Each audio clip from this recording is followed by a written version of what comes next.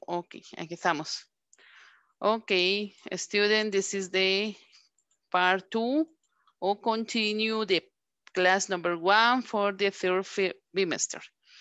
Eh, vamos a ver de pronunciation six, que aquí solo es un ejercicio de pronunciación el, del sonido M, el de la M que nosotros conocemos, ¿verdad? Que está ese, que se puede ver que es el mismo sonido que, eh, que nosotros conocemos y es el mismo signo, ¿verdad? De la M. M, M. Y vamos a pronunciar los, las eh, oraciones que están acá escritas, que son You must remember my number y You mustn't make a mistake. Hay que tratar de pronunciar el en negativo cuando hablamos. Casi no se escucha en los audios. Voy a, a, a ver cómo hago para colocar los audios Estoy ahorita buscándolos, los del libro, para colocarlos a ver si los logramos escuchar, que casi no se escucha en el inglés, eh, en el hablante, ¿verdad? En inglés nativo. Pero eh, nosotros sí es bueno que lo pronunciemos fuerte para saber que estamos negando algo, ¿verdad? Porque hay un sonido nada más el que hace la diferencia. Entonces vamos a pronunciar. Si gustan, ponen su micrófono, si no, no, pero no dejen de pronunciar por favor, la oración completa. Le vamos a dar el, énfasis a la M, al sonido mm, mm, que nosotros conocemos como el de la M, mm, ¿sí? Entonces vamos a pronunciar, you mustn't remember my number. Si se dan cuenta, tenemos varios eh, sonidos en las palabras. Está en must, remember, hay dos M's, my number, en number. You must remember my number. Repita, por favor. En negativo, you mustn't make a mistake. Está la M en mustn't, en make, en mistake, ¿sí? repeat, you mustn't make a mistake. Ahora vamos a repetir la de arriba. You must remember my number. La de abajo, repeat, please. You mustn't make a mistake. Muy bien, luego del ejercicio pasamos al vocabulario 7. Esta sí es tarea, aquí vamos, o sea, aquí sí tenemos que trabajar algo que vamos a hacer con el vocabulario 7. Dice acá las instrucciones, match the words in box A with the words in box B to make compound words. How many of the compound words can you find in this lesson? Entonces, ¿qué vamos a hacer? Vamos a match, que es unir o buscar el que le corresponde o hacer que casen, podría ser la traducción, las palabras A con B para hacer palabras compuestas. ¿Sí? Y pregunta, ¿cuántas palabras compuestas hay en esta lección? Es como que de observar, ¿verdad? sería de ir a buscar aquí en la, en la lectura, pero lo que vamos a hacer es hacer las palabras compuestas. Entonces, las palabras compuestas de la A, o sea, vamos a unir A con B para saber cuáles van. En A tenemos cell, tenemos cutting, ice, film, make, note, snake, toilet and video. ¿Sí? Y en B tenemos bytes, board, book, camera, cream, crew, paper, phone and app. ¿Alguien de ustedes ya encontró una palabra compuesta? Sería de unir la, la palabra de la una palabra de la A con una palabra de la, de la B para hacer una palabra compuesta, como por ejemplo cell phone, que es teléfono celular, traducido, teléfono celular. ¿Alguien ya notó qué otra palabra compuesta puede haber uniendo una de la A con una de la B?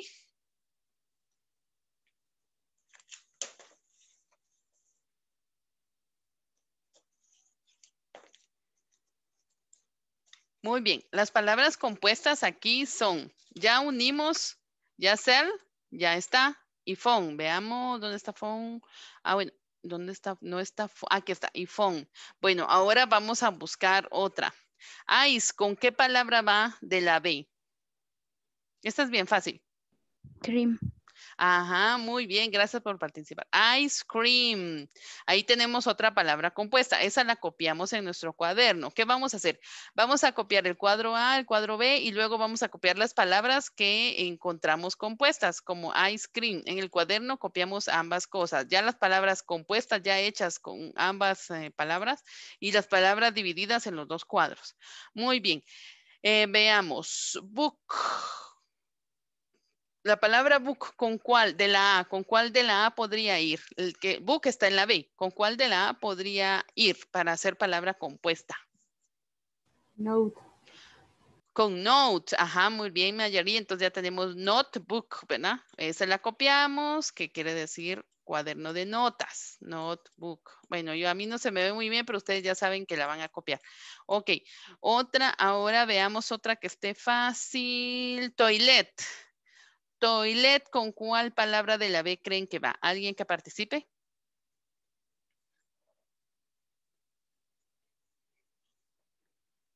Con paper. Exacto, toilet, toilet paper, o sea, papel de baño, ¿verdad? Entonces vengo y copio toilet paper. Muy bien. Eh, video, video, video. ¿Con cuál de la B creen que va? ¿Alguien que participe? Los chicos. A ver, chicos.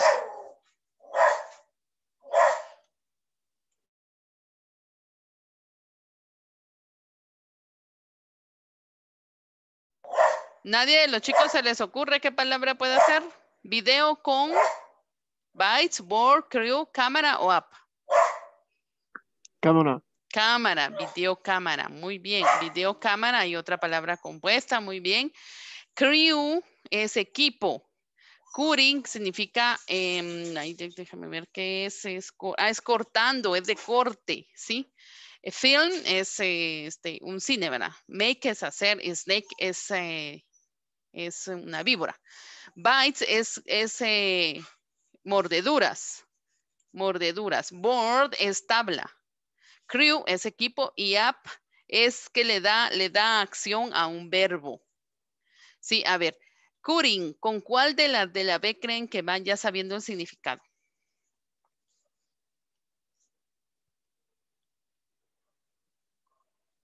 Lo voy a poner de otro color para que después identifiquen cuáles son. A ver, voy a traducir de nuevo. Cutting, que significa cortando o de cortar, con bytes, mordedura, con board, tabla, con crew, equipo, o con up, que significa accionar, que le da accionar al verbo. ¿Con cuál va cutting? ¿Alguien ya identificó? Up. Cutting up podría ser, pero eh, los verbos ing no van con up, entonces esta la eliminamos. Eh, Cutting bytes, cutting board o cutting crew.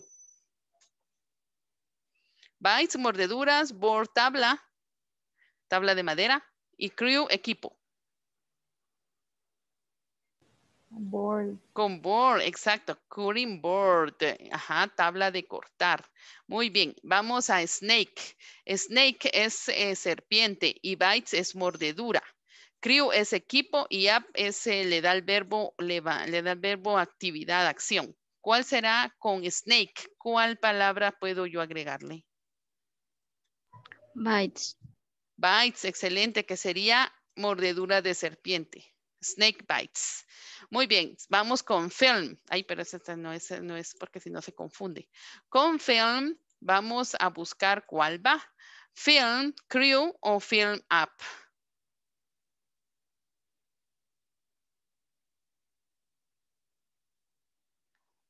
Aquí hay un verbo que significa maquillaje. No sé si alguien ya lo denotó. Que junto con up significa maquillaje. Entonces, film, ¿con qué palabra va de la B? ¿Alguien que quiera participar? Marvin, ustedes pilas. Me extraña que no tome el, que no tome el micrófono. ¿Cuál señor film? Sería con... Con con equipo de filme. Crew significa equipo, significa grupo, significa este, eh, que pertenece a, algo, son un grupo que están haciendo algo en especial. Entonces, crew se lo puedo yo agregar a cualquier palabra si yo quiero decir que es equipo. Por ejemplo, eh, cooking es equipo de cocina. Eh, film cream, equipo de filmación. Eh, que sería limpieza, sería clean crew, equipo de limpieza, ¿ok? Entonces puedo hacer esas palabras compound words. Y por último, makeup. ¿Verdad qué significa maquillaje? Que a esa, solo esa nos quedó. Entonces, makeup. Estas las voy a copiar en mi cuaderno primero ah, copio el cuadro A, el cuadro B y luego las copio ya formadas, ¿verdad? ¿Alguna duda sobre esta tarea, esta parte de la tarea?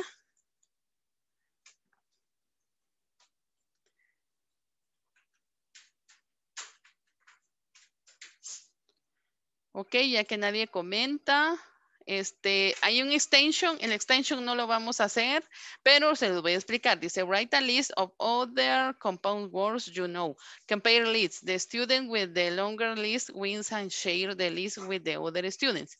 Escribe una lista de otras palabras compuestas que tú conozcas. Compara las listas con los estudiantes y vean quién tiene la lista más larga y eh, eh, entre ustedes eh, ayúdense o, o den, share, ahorita se me fue la palabra share, que significa eh, denle a otros las que no ellos no tienen, ¿verdad?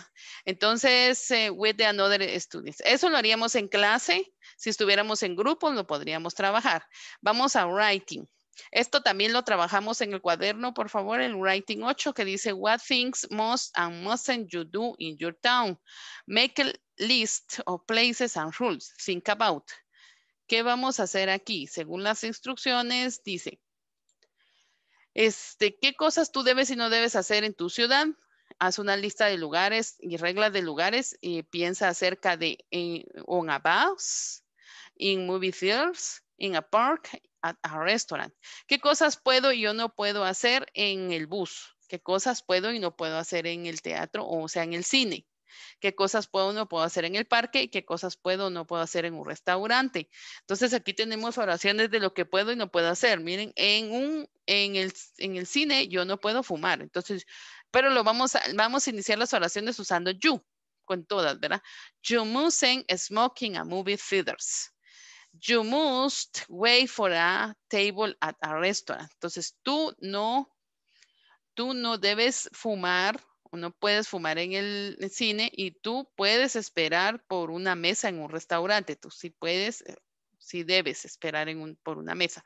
Entonces, en un bus, ¿qué cosas no podemos y qué, cosa podemos? Por ejemplo, en un bus podemos, eh, no podemos estar en movimiento. Tenemos que sentarnos o estar en un solo lugar. Entonces, you mustn't walk in, sería on a o sea, en lo que dice in, yo le agregaría on a. Entonces yo escribiría, you mustn't, en vez de smoke, escribiría eh, walk, que es caminar, ¿verdad? En la oración. Y luego copio on a. Algo ahora en el movie theater ya en el parque. ¿Qué no debo hacer en el parque? Un, un negativo. You mustn't Jumusan, veamos, ¿qué no podría hacer el parque? Eh, dejar basura. Entonces, tirar la basura, ¿verdad? Entonces, ¿qué verbo uso yo para decir tirar? ¿Qué verbo uso yo para decir dejar o no ponerla en su lugar? En este caso sería tirar, lo más, eh, lo que nosotros usamos coloquialmente, ¿verdad? Hold, ¿qué quiere decir soltar, hold. Entonces uso el verbo hold aquí o si no busco el verbo que yo quiero utilizar y, escribo you mustn't hold trash in a park. Luego un restaurante, ya está el, el, restaurante, ya está. You must wait for a table. Entonces ya hicimos dos oraciones. Ustedes solo van a hacer dos oraciones más usando el, lo que puede y lo que no puede hacer o lo que debe o que lo que no debe hacer. Esta acuérdense que es obligation, porque estamos sabiendo aquí obligation a prohibition. Must and significa algo prohibido o algo que es obligado, que se debe o que no se debe hacer. Entonces, ustedes solo hacen dos oraciones más. Sería una oración con bus y otra oración con in a park. Porque in eh, movie theaters ya está, in a restaurant ya está. Y copiamos estas dos que ya tenemos aquí para tener cuatro en total. Y en el grammar workout la vamos a copiar todo en el cuaderno y vamos a completarlo con las palabras que faltan, que son mos a mosent. Dependiendo qué dice y yo entiendo de qué está hablando, yo le agrego mos a mosent. Eh, y depende de qué parte de la oración me hace falta la palabra. Entonces, aquí en mos a mosent, en completar sería que copio de celebrities give up luxuries. Las celebridades no deben o deben traer lujo, eh, joyas. Entonces aquí es mustn't. Es el negativo. Le voy a poner una X al negativo, mustn't. Luego, they must or mustn't learn survival techniques. Techniques. Entonces, ellos deben o no deben aprender técnicas de sobrevivencia. Sí deben aprender, entonces aquí es must. Luego, what kinds of things, qué tipo de cosas must o mustn't they do? Deben o no deben hacer. Está haciendo una pregunta, podemos agregarle cualquiera de las dos que dice what kinds of things must they do. Vamos a ponerle positivo, must. They, aquí es negativo las dos, o sea, solo agrego must, must, ¿verdad? La palabra must. Sí, solo must, porque ya está el N apóstrofe T. Entonces ya solo agrego lo que hace falta del must. Eh, they mustn't take cell phones. They mustn't forget the dangers of the hunger. Y we often use must and mustn't to talk about rules. Aquí es el negativo, el mustn't. Nosotros uh, normalmente, comúnmente usamos eh, puedo y no puedo hablar acerca, para hablar de reglas. Se usa mucho para las reglas. The past tense of the must is had to. O sea, el pasado, si usted quiere hablar en tiempo pasado, mm, va a usar had to. Entonces, sería pudo hacer, pudo. El pasado puede y no pudo. The other person, another person had to walk through water full of crocodiles. Dice, una persona no pudo caminar sobre el agua llena de cocodrilos. Este en pasado porque, porque podría ser mustn't, mustn't work, pero como está en pasado se usa had to. Cambia completamente si quiero decir obligación o quiero denotar prohibition en tiempo pasado. Se usa had to. Dejémoslo ahí, que mejor si les queda este, a ustedes, eh, ¿cómo se llama ya? Eh, la idea, ¿verdad? De que el had to se utiliza para prohibition y obligation, pero en tiempo pasado. ¿Y qué se usa en vez de must and? Depende, porque si es negativo es hadn't, ¿verdad? Pero como es positivo, had to. Y negativo, hadn't to, en pasado. Entonces, esto sería recopilando las tareas que vamos a copiar en el cuaderno. El, uh, el opener, no, no, no. El reading, que es el que está circulado, lo copiamos con sus respuestas true and false. ¿Sí? El speaking, vamos a hacer oraciones. Ya eh, les dije cómo, qué verbos se pueden usar y incluso hay verbos aquí, miren, en eating y touch están los verbos para hacer oraciones similar a la que está, la oración que está circulada acá en azul, solo que cambiándolo por las eh, expresiones que están en los cuadros. Eh, vamos a, a, copiar los cuadros del vocabulario A and B y a formar las compound words y vamos a copiar, el, ah, vamos a hacer oraciones del word writing, el numeral 8, las dos que faltan, eh, agregándole, las iniciamos con you must and you mustn't. Eh, nos falta on the, in the park y nos falta on a, on a bus. Y vamos a copiar el cuadro verde llenando con must and mustn't. Las oraciones depende cuáles en falta. Las X son negativas y las eh, chequecitos son positivos. O sea, la, la, positivo o el chequecito es must y el, nega, el, la X es mustn't. Esas serían las tareas. Si y hay, no hay dudas, pasaríamos a ver lo que nos queda de tiempo, el episodio donde nos quedamos pendientes de leftovers. Any question?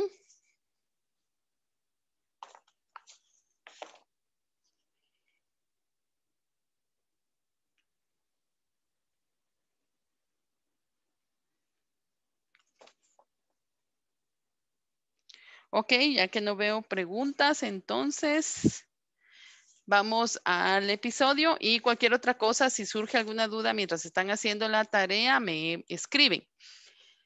Solo que voy a dejar de grabar porque si subo a la, explicación así,